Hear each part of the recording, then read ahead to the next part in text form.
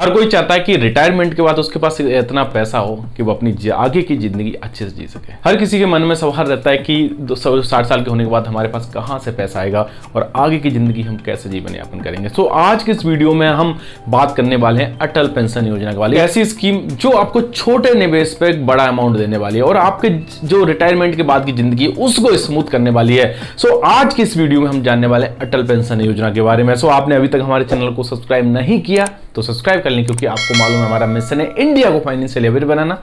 तो आप हमारे उस मिशन में जुड़ के हमारा साथ दे सकते हैं। सो आइए चलते हैं। नमस्कार दोस्तों, मैं हूँ शैलेंद्र और स्वागत है आपका मार्केट मिस्ट्री चैनल में। जैसे कि बात कर रहे थे अटल पेंशन योजना के बारे में। अटल पेंशन योजना एक ऐसी स्कीम है जो छोटा सा पैसा निवेश करने पे हमें एक बड़ा अमाउंट देती है। रिटायरमेंट के बाद की ज़िंदगी हमारी सिक्योर करती है, यानी सुरक्षित करती है, और हमें आगे का जीवन यापन कैसे जीना, उसके लिए हमारे काम सो अटल पेंशन योजना किस तरीके के फ़ायदे पहुंचाती? कब कब हमें निवेश करना होता? कितने साल तक निवेश करना होता? और साथ ही साथ हमें मेच्योरिटी पे यानी हमारे रिटायरमेंट के बाद हमें कितना अमाउंट हर महीने मिलेगा? कितना जमा करने पर कितना मिलेगा? तो आज के इस वीडियो में पूरा डिटेल में जानेंगे जिससे आपके जो भी डाउट है वो क्लियर हो सके और आप इसमें निवेश कर सकें। क्योंकि अभी तक इस योजना में पाँच करोड़ से ज़्यादा लोग निवेश कर चुके हैं। सो वीडियो के अंत तक बने रहे पूरा देखें स्किप ना करें कहीं आपसे कुछ इंपॉर्टेंट छूट ना जाए वो वीडियो पसंद आए तो लाइक ज़रूर करिएगा जिससे हमारा उत्साह बढ़े और आगे हम ऐसे ही वीडियो आपके लिए ला सकें। तो सबसे पहले बात करते हैं अटल पेंशन योजना है क्या? देखिए अटल पेंशन योजना भारत सरकार ने यानी मोदी सरकार ने 2015 में चालू किया था। अभी इसको पूरे पूरे आठ साल हो चुके हैं और इसमें अभी तक पाँच करोड़ से ज़्यादा लोग एनरोल कर चुके हैं नहीं पाँच करोड़ ज़्यादा लोग इसमें निवेश कर चुके हैं। साथ ही साथ अटल पेंशन योजना में कोई भी 18 साल का व्यक्ति से लेकर 40 साल के व्यक्ति के बीच में कोई भी व्यक्ति इसमें निवेश कर सकता है। और अपने कितना अमाउंट उसे चाहिए?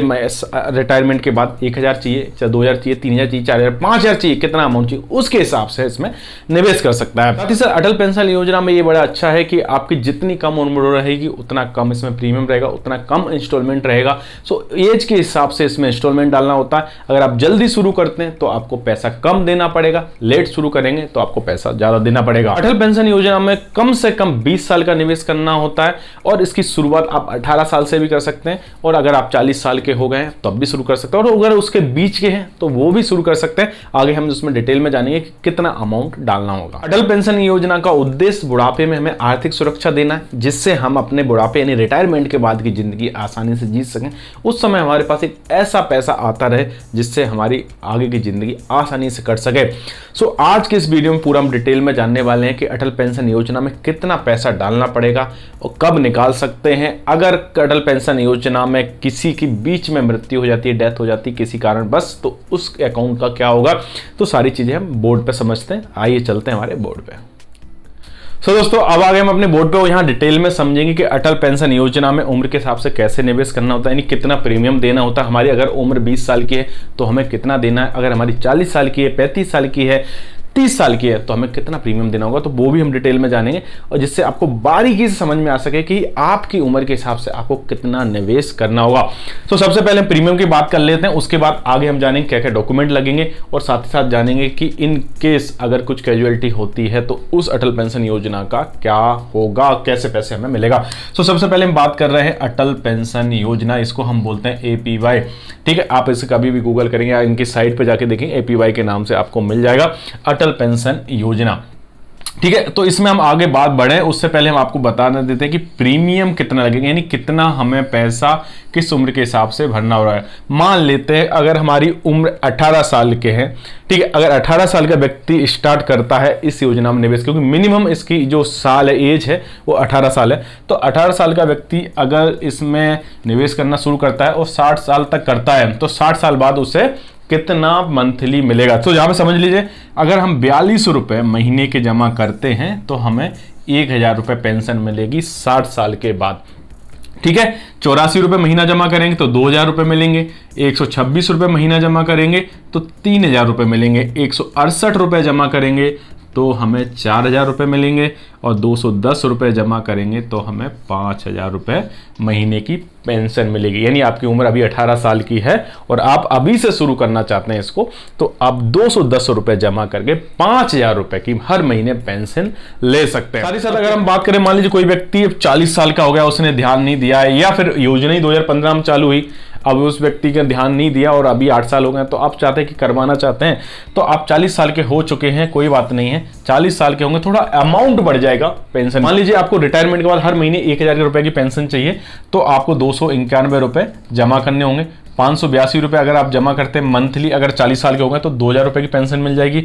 आप चाहते हैं कि तीन हज़ार की पेंशन मिले तो आपको आठ सौ तिहत्तर रुपये जमा करने होंगे। आप चाहते हैं कि चार हज़ार की पेंशन मिले तो ग्यारह सौ चौंसठ रुपये और आप चाहते कि पाँच हज़ार रुपये हर महीने पेंशन आए तो चौदह सौ चौवन रुपये जमा करने का करेंगे क्यों करना पड़ेगा? क्योंकि यहाँ पे उम्र बढ़ गई। अगर आप अठारह साल के तो दो सौ दस रुपये ही जमा करना है। लेकिन अगर चालीस साल के हो गए तो क्योंकि इसमें मिनिमम बीस साल भरना ज़रूरी है इसलिए चालीस साल आखिरी इसके बाद इसमें खाता नहीं खुलवा सकते। तो चौदह सौ चौवन रुपये में आप पाँच हज़ार रुपये की मंथली पेंशन सिक्योर कर सकते हैं।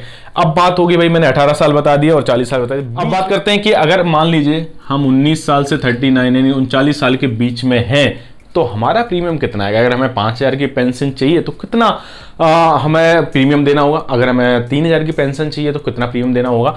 तो इसके लिए हमने पूरी डिटेल वीडियो डिस्क्रिप्शन में दिए आप वहाँ से ज़रूर चेक कर सकते हैं कि 19 साल 20 साल इक्कीस साल किस तरीके से पेमेंट कर सकते हैं क्योंकि ये बहुत ज़्यादा लंबा हो जाता है इसलिए हमने डिस्क्रिप्शन में डाल दिया। आप वहाँ से ज़रूर चेक करें। और साथ ही साथ अगर आप इस उम्र के बीच में आते हैं तो जब भी आप ऑनलाइन खुलवाएँगे इसको या कहीं से भी खुलवाएँगे इसको जब भी खाता तो उस समय वो आपकी एज के अकॉर्डिंग आपको प्रीमियम भी बता देंगे। जैसे आपने सिलेक्ट करा कि भाई हमें दो हज़ार रुपये महीने की पेंशन चाहिए आपने सिलेक्ट करा, पाँच हज़ार महीने की पेंशन चाहिए तो उस हिसाब से वो प्रीमियम आपको बता देंगे। अब इस योजना में डॉक्यूमेंट क्या लगेंगे? ये बहुत बड़ा प्रश्न है। हमेशा लोग उसके इसमें कन्फ्यूज़ रहते हैं कि भाई डॉक्यूमेंट्स क्या देना है?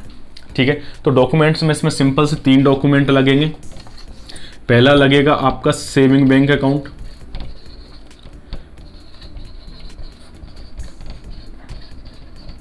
ठीक है? दूसरा आपका लगेगा आधार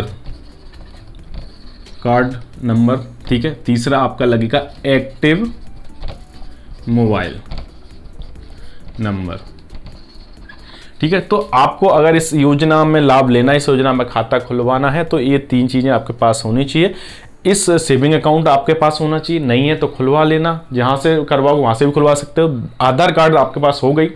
और एक्टिव मोबाइल, अगर मोबाइल नंबर आपका एक्टिव है तो ठीक है, नहीं एक्टिव तो एक्टिव करा लें, क्योंकि सारी चीज़ें इसी पे मैसेज आएँगी। और आखिरी में मैं कुछ और चीज़ें बताने वाला हूँ कि क्या क्या किस तरीके से ऐप यूज़ करते हो, किस तरीके से बाकी चीज़ें आप इसमें देख सकते हो मोबाइल के थ्रू। अगर हम इसमें आप किस्त की बात करें तो अपनी सुविधा के हिसाब से किस्त दे सकें। इसमें बहुत फ्लेक्सिबिलिटी है, यानी आप अपने मंथली पैसा डाल सकते हैं। आप उसमें क्वार्टरली यानी तिमाही के हिसाब से पैसा डाल सकते हो और हाफ़ ईयरली यानी आप अपना छः महीने में भी पैसा डाल सकते हो। तो ये बहुत अच्छी बात है। मान लीजिए आप हर महीने कंफर्टेबल नहीं है तो तीन महीने के स्लेब बना लें तो साल में चार बार पैसा डालना होगा। अगर आप छः महीने वाला यानी हाफ़ ईयरली चुनते हैं तो साल में दो बार पैसा डालना पड़ेगा।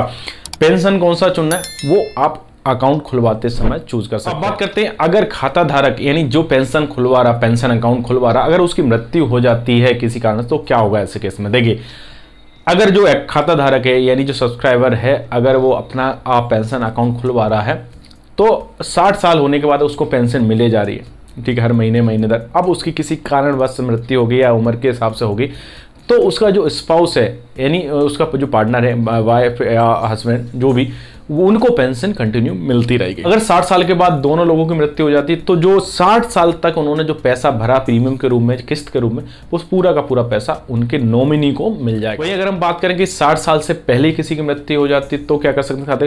तो स्पाउस जो है उसका, वो उस खाते में पैसा डाल कंटिन्यू रख सकता है और अपने पेंशन का हकदार हो सकता है, यानी पेंशन ले सकता है। अगर वो चाहता है कि उसको कंटिन्यू नहीं करना है तो वहाँ तक जितना भी पैसा जमा हो, उस पैसे को पूरी तरह निकाल सकता है। अब अटल पेंशन में खाता कैसे खोलें, ये बड़ा सवाल है। अटल पेंशन योजना में अगर आप खाता खोलना चाहते हैं इनरोल करना चाहते हैं तो दो तरीके, एक ऑनलाइन एक ऑफलाइन ऑनलाइन तरीका ये, अगर आप नेट बैंकिंग वगैरह यूज़ करते हैं, आपको अच्छे समझ में आता तो आप नेट बैंकिंग पे जाए, वहाँ पे आपको ऑप्शन देखेगा एबीपीवाई का अटल पेंशन योजना का, उसमें आप उसमें इनरोल कर सकते हैं, वहाँ पर आप अपने हिसाब से आप कितना पेंशन चाहिए आपको वो चुन सकते हैं? जैसे आपको एक हज़ार, दो हज़ार, पाँच हज़ार, तीन हज़ार कितना चाहिए?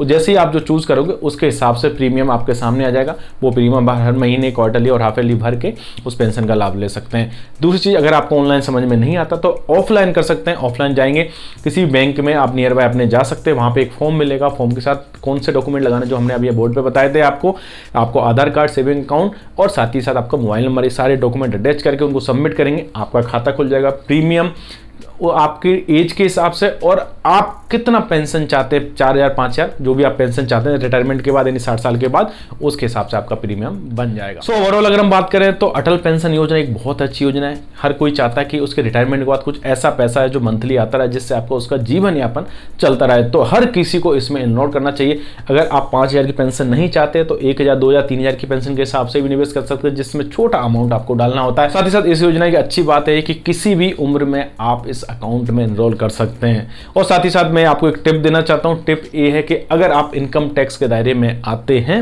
तो इस योजना का लाभ नहीं ले सकते। तो उम्मीद करता हूँ आज का ये वीडियो आपको पसंद आया होगा जानकारी अच्छी लगी होगा। अगर अच्छी लगे तो अपने दोस्तों परिजनों में शेयर करें और उन लोगों को ज़रूर शेयर करें जो अटल पेंशन योजना का लाभ लेना चाहते हैं या ऐसे व्यक्ति हैं जो चाहते हैं कि रिटायरमेंट में कुछ ऐसा पैसा उनके पास आए जिससे वो अपना आगे की ज़िंदगी आसानी से जी सके। सो इन्वेस्टमेंट और फाइनेंस की जानकारी के लिए हमारे चैनल को सब्सक्राइब करें। सो मिलते हैं नेक्स्ट वीडियो में। तब तक के लिए नमस्कार जय हिंद।